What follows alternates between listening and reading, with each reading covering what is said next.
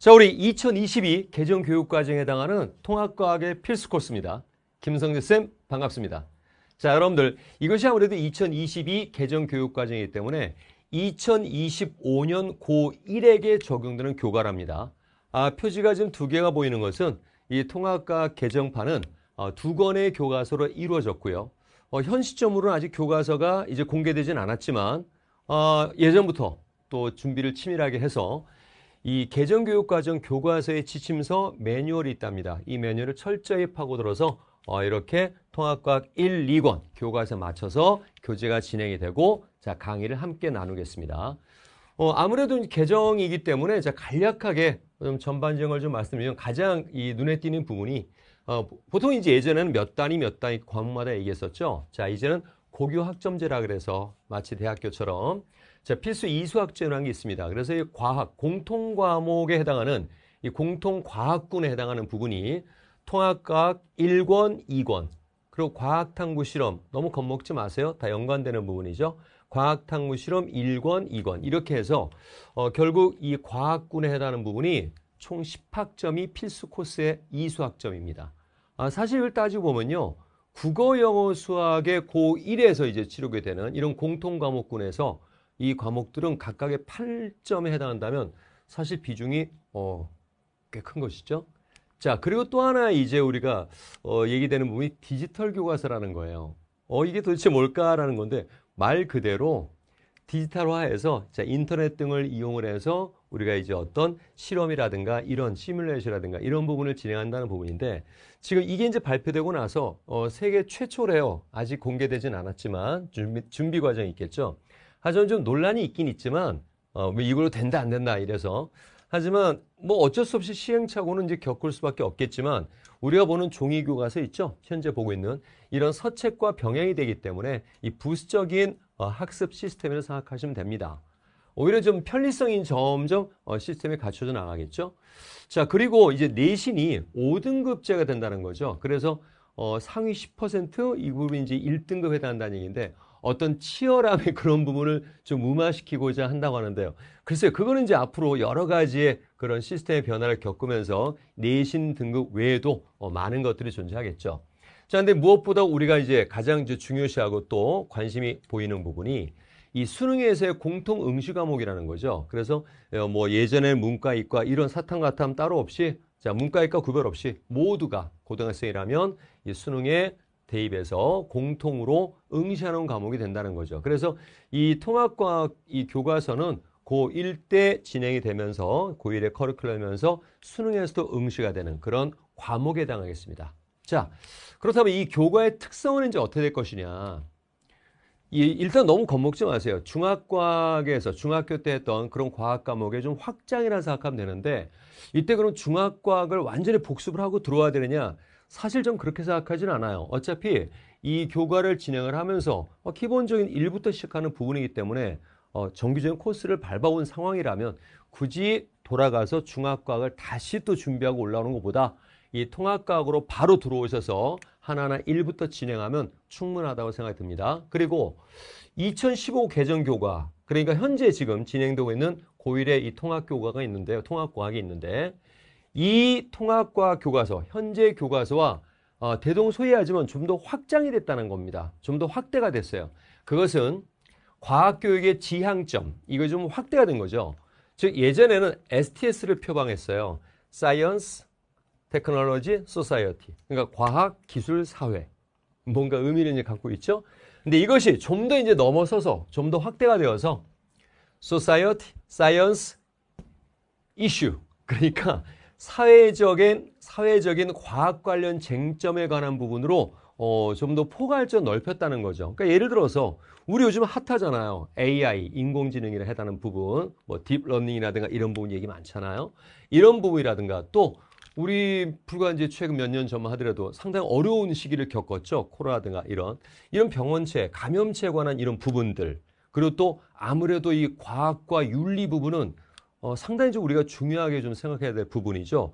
뭐 둘리 복제양 알죠? 이런 복제 기술에 관해서 또 최근에 어, 여러분들 혹시 그런 소식을 들었는지 모르겠는데 어떤 유튜버는 그 반려견의 무지개 다리를 건넌 이후에 어, 복제를 한다 만다 해서 상당히 논란이 좀 있었죠. 이런 과학적인 윤리 부분 이런 부분으로 좀 더 확대가 돼서 단원이 좀 늘어났어요. 그래서 어떻게 보면 양이 좀 많아졌기 때문에 또 1권과 2권으로 교과서 진행이 되는데요. 일단 컨셉 자체가 우리가 보통 이제 물화생지 이렇게 얘기를 하는데 사실 통합교과는 이 물화생지라는 과목으로 분류를 하면 오히려 좀 걸림돌이 될 수 있답니다. 즉, 어, 예전에 이 물화생지란 것이 이제 이론 중심으로 진행이 됐다면 지금 이것이 시대에 맞게끔 변한 과학교과라 했었죠. 과학의 이 흐름입니다. 어떤 이론적인 주제의 순서라기보다는 스토리화되어 있다는 거죠. 그러니까 예를 들어서 이거예요. 어, 내 몸이 어떻게 구성이 되어 있는가. 뭐 이제 교가 진행하다 보면 뭐 탄소, 산소, 뭐 질소, 산소 이런 얘기 나와죠. 수소 이런 얘기 나와요. 그러면 이런 몸에 해당하는 생명체의 구성은 또 어떻게 이루어졌는가? 그렇다면 이 생명체가 어, 발판을 만들고 또 그 장소가 제공되어 있는 이 지구, 지구는 또 어떻게 구성이 됐으며 또 지구는 이 광활한 우주를 생각해 보면 먼지에 불과하죠. 그렇다면 이 우주로 넓혀서 이 우주는 초기에 어떻게 시작이 되었던가? 아, 이런 부분들로 생각해 볼 수 있겠죠. 이걸 거꾸로 이제 시대선으로 쭉 엮어나가는 스토리화가 되어 있다는 거죠. 그래서 우주를 보고 그 안에 물질을 확인하고 또 물질들 간에서 지구 또 생명체 이런 것들의 화학적인 어떤 반응이라든가 이런 구성이라든가 또 지금 현재 이 생태계와 지구 시스템에서의 에너지의 순환과 물질이라든가 이런 부분들이 어, 결국 하나의 스토리화가 되어 있다는 겁니다. 그래서 물론 좀 주제를 나눈다면 물질, 우주, 에너지, 지구, 생명체 또 아까 얘기했던 과학 관련 어, 사회적 쟁점 이런 부분들 이렇게 구성이 되어 있는데요.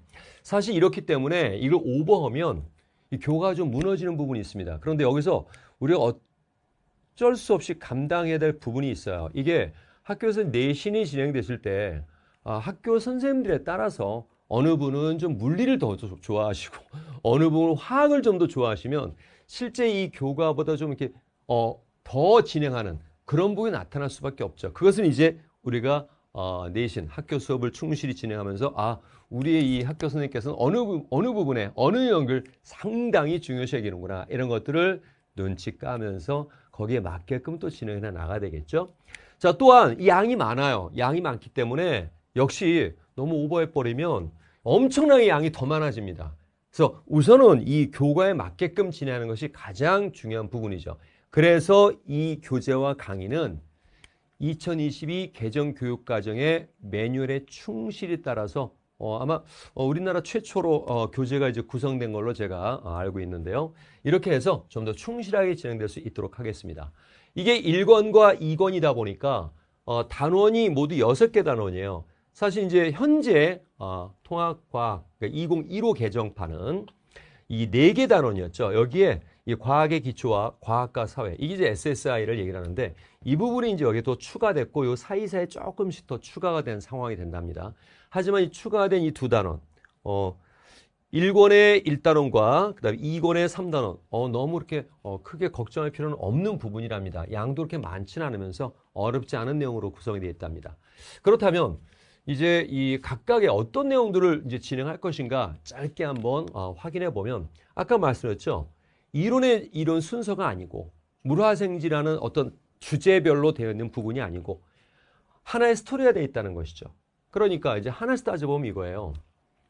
일단 1권에서는요, 모두 3개 단원이 있답니다. 아까 이제 우주부터 이제 얘기 시작하는 거죠. 그래서 어쨌든 뭐 이런 예를 꺼낼 때는 이러한 그 과학의 기출한 단어에서 시작되는 게 이제 발동을 거는 것인데 우리가 어떤 자연의 변화를 감지하고 이 신호, 전달된 신호를 측정함으로써 그걸 분석을 하죠. 그럼 분석을 하면 그게 이제 정보가 되는 겁니다. 이러한 것들에 대해서 일단 기초적인 어, 소양을 잡는 것이 첫 번째 단원이고요.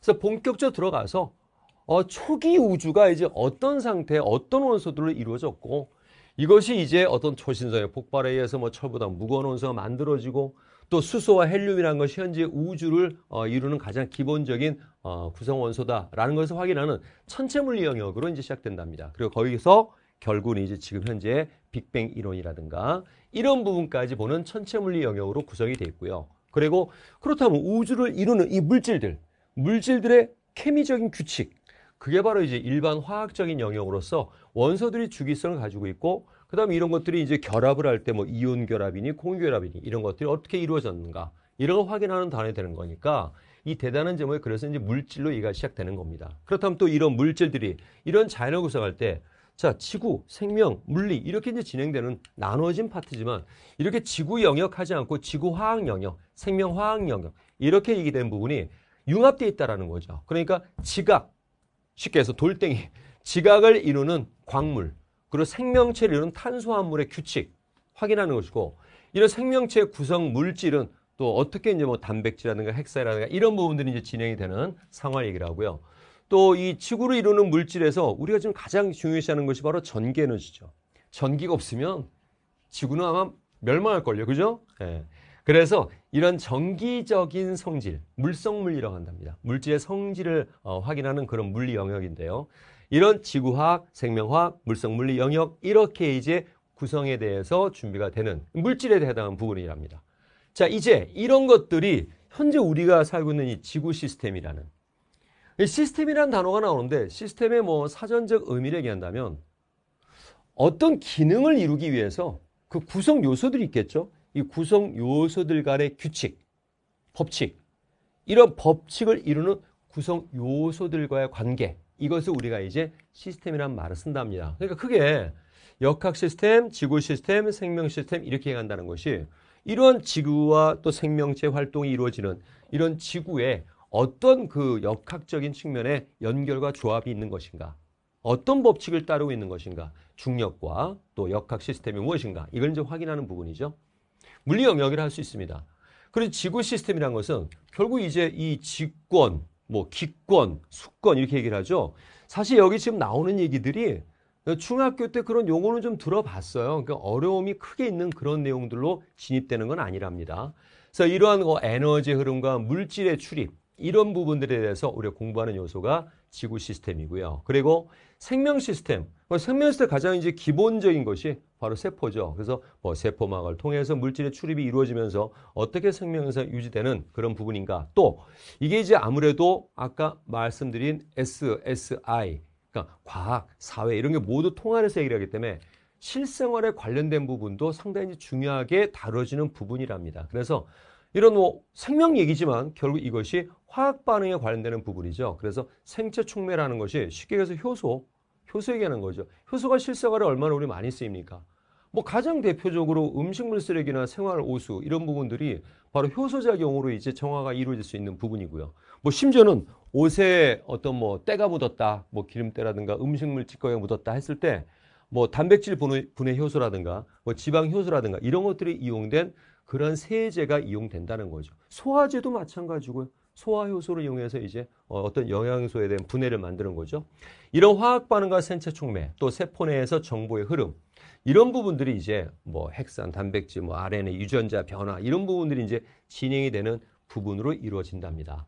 자, 이렇게 이제 1권이 준비가 되고요. 그리고 이제 2권에서는요. 좀 더 이제 좀더 어, 뭐랄까요? 실질적인 부분을 진행한답니다.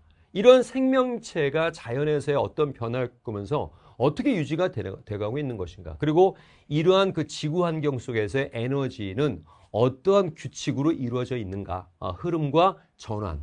이런 것들이 어떻게 서로 상호작용을 일으키고 있는가를 따지는 것이 어, 과학 2권에 해당한답니다. 아, 그래서요, 어, 일단 여기도 역시 세 개의 단원이랍니다. 그래서 가장 이제 대표적인 얘기가 이제 화학 생명 영역이죠. 이것이 산, 염기, 이게 중딩 때 다 우리가 한 번씩 겪었던 그런 단어들이죠. 그런데 이것이 단순히 이제 화학으로만 끝나는 것이 아니고 생명으로도 충분히 확장될 수밖에 없다라는 얘기인데요. 그것이 이제 뭐 핵산이라든가 이런 핵산은 또 RNA, DNA 이런 부분인데 거기 산이 붙은 게 이제 산에 해당하기 때문입니다. 이런 뭐 중화 반응이라든가 중화 반응도 실생활로 얘기를 한다면 뭐 제산제라든가 치약 그리고 뭐 산성비를 중화하는 건 좀 효율적이지 못하지만 그러한 산성비에 대한 어떤 피해라든가 이런 부분이 다뤄지는 그런 얘기들이고요.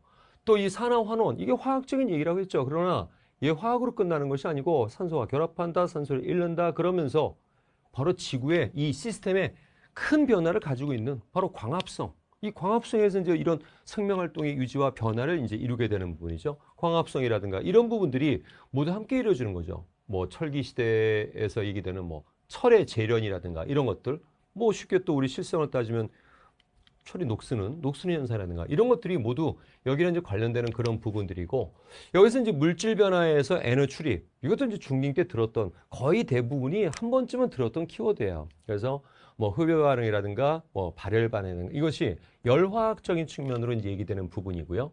그리고 이러한 생명체의 지질 시대 때부터 해서 지질에 관한 부분, 지질 생명 영역과 또 진화도 다루면서 진화에서 어떤 자연 선택이라는 부분, 그 부분이 또 지금의 이 어떤 그 항생제의 그 내성 세균이 이제 지금은 많이 생기죠. 그래서 이런 부분들까지 자연 선택이 연결이 되면서 어, 이런 생명 활동의 다양성과 유지 어떻게 될 것인가 이걸 확인하는 부분이랍니다.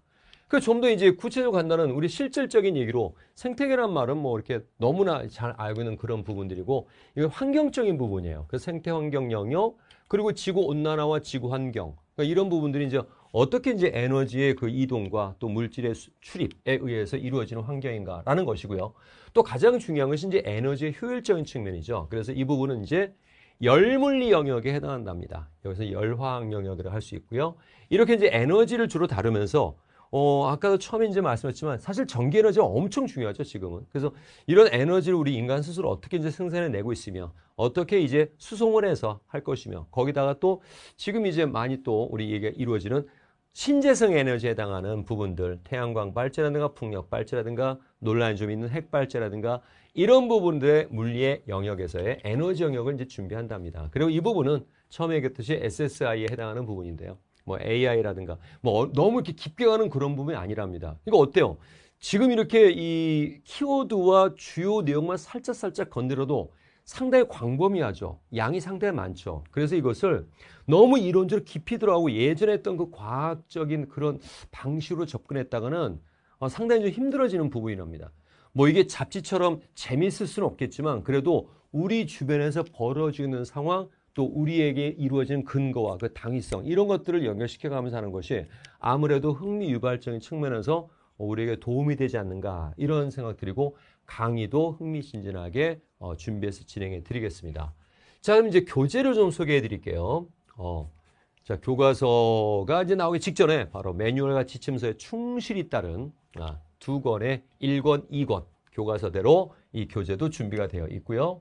어, 일단 뭐 개념편들이 켤라로 보기 좋게 또 서술 방식과 요약 방식을 같이 준비해서 또 그림과 함께 이미지와 함께 우리가 쉽게 어, 흡수하고 이해할 수 있도록 개념편을 진행을 했고요. 그리고 가까이 개념편에는 자 소단음으로 시작할 때 어, 반드시 위에 이제 학습 목표와 상세 내용 사실 이걸 잘 안 읽더라고요. 교과서도 있거든요. 이게 상당히 중요해요. 깃발을 꼽는 것이죠. 내가 어디로 가야 되겠다는 깃발이 없이 우리가 마냥 진행할 수 없는 부분이죠. 자, 깃발을 꼽아드리는 학습 목표와 상세 내용이 어, 단원마다 시작돼 준비되고요. 그리고 어, 중요한 부분에 대해서는 중요해라고 어, 표시가 되어 있는 부분을 따로 이렇게 표시해 놨고요.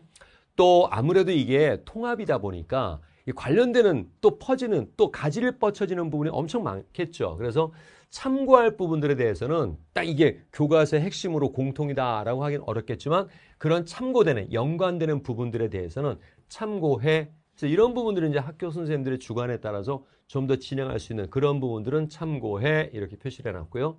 그리고 또 단원 말미에 이 풍부한 자료 이렇게 해서 뭐 어떤 우리 실생활을 좀 더 이제 생각해 볼 수 있는 부분이라든가 실생활에 아니면 영화적인 측면이라든가 이런 영화 속에서 다뤄지는 이런 과학적인 얘기 이런 부분들을 좀 이렇게 여러분들이 읽을 거리로 어 짧게라도 준비를 해서 진행을 했고요. 그리고 이제 문항편은요. 일단은 이 통합교과에 맞게끔 통합과학에 맞게끔 어, 빈칸을 채워가면서 자, 개념을 정확하게 한번 우리 점검할 수 있도록 준비했고요. 그 다음에 자장 문항이라든가 아니면 기출 변형 문화라든가 기출 문화라든가 이런 것들을 이용해서 자, 문항표를 충실히 준비를 했답니다. 자, 또한 자, 해설편도 역시 마찬가지로 이렇게 정답과 해설을 바로 볼 수 있도록 이렇게 진행을 해 놓았습니다. 어, 보면은 이걸 읽으면서 이제 쉽게 이해할 수 있도록 그렇게 해설도 많이 진행을 해 놓았습니다. 자, 어, 너무 길지 않게 진행하면서 본 강의를 지나는데 어, 제가 강의 수를 얘기 안 했네요. 강의 수는 어, 50분가량으로 해서 한 30여 개 어, 이렇게 해서 진행을 해서 이 교과에 맞게끔 어, 정확하게 진행을 해드리겠습니다. 자, 여러분들 우리의 슬로건이 있습니다. 바로 통합과학 만점 받고 대학 가자. 통만대 하고 외치는 겁니다. 자, 팔로미 에브리얼 통만대 그렇죠. 이루어집니다. 자, 그럼 바로 고 1강부터 첫 삽을 뜨기 시작하겠습니다. 고!